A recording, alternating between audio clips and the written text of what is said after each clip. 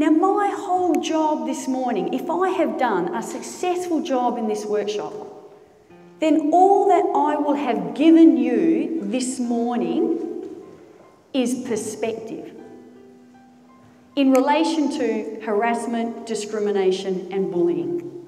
So, on the count of three, you are going to raise up your right hand and have your pointer finger. You're only allowed to point at one person on your table, and you are going to point to the person who you think looks the most intelligent.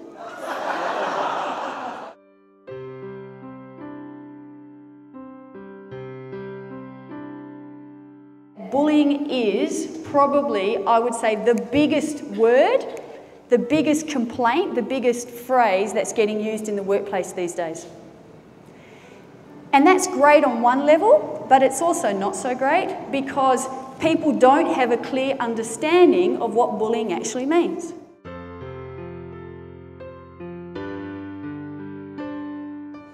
Here's the problem with us and things of a sexual nature, and this is what the courts have shown us and what phone surveys and research has shown us, is that this is the area that we are going to get the greatest variance. And you've just seen that this morning.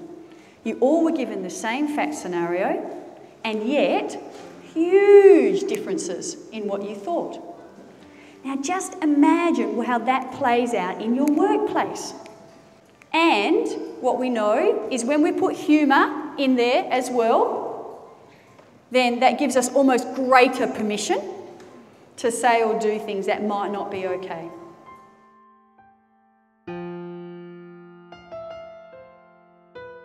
When someone comes to a manager and they're crying and they're distressed and I don't want to, you know, blah, blah, blah, but don't do anything about it, it's just going to make it worse.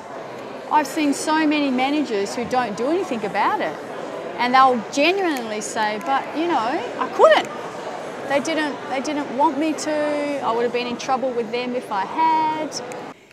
If a manager in any way aids, assists, permits, allows that unlawful behaviour to occur or continue, they are treated as if they have done that behaviour themselves.